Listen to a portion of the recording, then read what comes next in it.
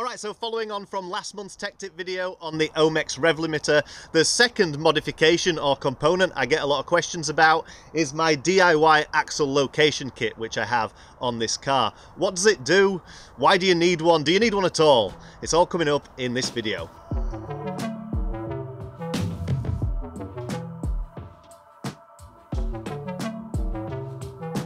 So first up, I suppose we better address what the term axle location is actually referring to. So an inherent problem with leaf sprung vehicles like the Capri is that under high load, the leaf springs will want to bend from side to side. Uh, up and down is fine, but side to side, not so much, as this allows the axle to move laterally under the vehicle. The longer the leaf spring, the worse the problem as the more leverage the car has on it. The Capri unfortunately has quite long leaf springs, especially compared to an Escort. So this is a pretty big issue. And when I say it's an issue, I mean it's an issue for me personally because of how I drive the car and what I use it for. Which leads us nicely onto why. Why do you want to locate your axle? Well, put simply, performance. This is a performance mod and you're only going to really notice a difference if you drive the car hard. If 90% of the time you're just cruising around, uh, I honestly wouldn't bother with it. I don't think it's worth the time or the effort. But for me, uh, personally, because I use this car on track days and especially now with these sticky Toyo tyres,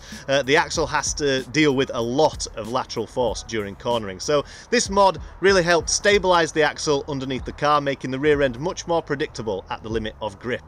So you're watching this thinking, yeah, okay, I want to locate my axle. What are my options? Well, you've got a few. Panhard bars, Watts linkages, you could three, four, five link the rear axle, get it really tied down under there. In fact, before you do any of that, just crawl under the car and check you haven't got something installed already because these first two systems came on a lot of cars out of the factory. My friend Joe, hello Joe, he has a Reliant Scimitar and that thing has a factory fitted Watts linkage. It's a really nice bit of kit. So I text Joe and I said, hey, can you send me a picture of the axle setup that's underneath the Scimitar uh, that I can use in this video? And he did one better. He sent me a three three minute long narrated video all about it, which he has kindly let me upload to my channel for you guys to see. So there should be a link at the top of the screen now. Click that, check it out if you've got time, because as far as out of the factory setups went in the 60s, 70s and 80s, it really does not get much better than that. So thanks Joe, really appreciate that. Now back to the Capri and you've looked under there and like me been disappointed with the lack of any axle location. So which option do you go for? Well anything I've mentioned so far will work well. The only problem with those is the cost. The fabrication work to get them fitted and the parts themselves it's going to be expensive. So if like me you were struggling to justify the cost versus the benefit don't panic because there is a budget option. And this leads me nicely onto my DIY axle location kit. And this thing was knocked up out of scrap from the metal pile and the only thing I actually paid for was the hardware so some U-bolts and some generic metric nut bolt combinations I think all in less than 15 pounds so as far as car mods go it was very very cheap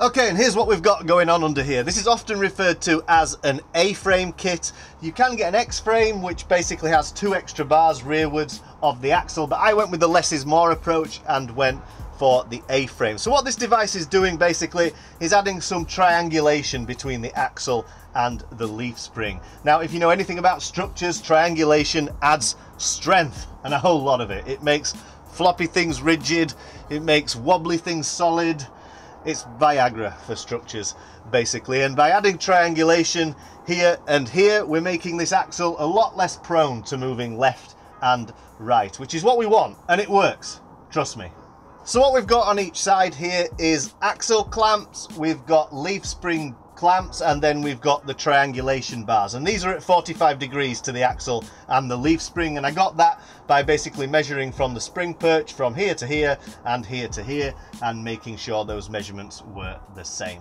So let's take a closer look at the individual components here and we'll start with the axle brackets. So these are basically 40 millimeter steel box section uh, and some steel pipe. So the steel pipe I found in the scrapyard, it had a very similar internal diameter as the outer diameter of the axle tube here, so it cupped it nicely. So I recessed the box section and then welded in a section of the pipe. I drilled a couple of holes for the U-bolts and boom, that was it. axle brackets. The leaf spring clamps, also very simple. They're just 10 millimeter steel bar cut and drilled to size. Uh, and then the same 10 millimeter steel bar I also used for these triangulation bars as well. You'll notice everything's quite beefy stuff.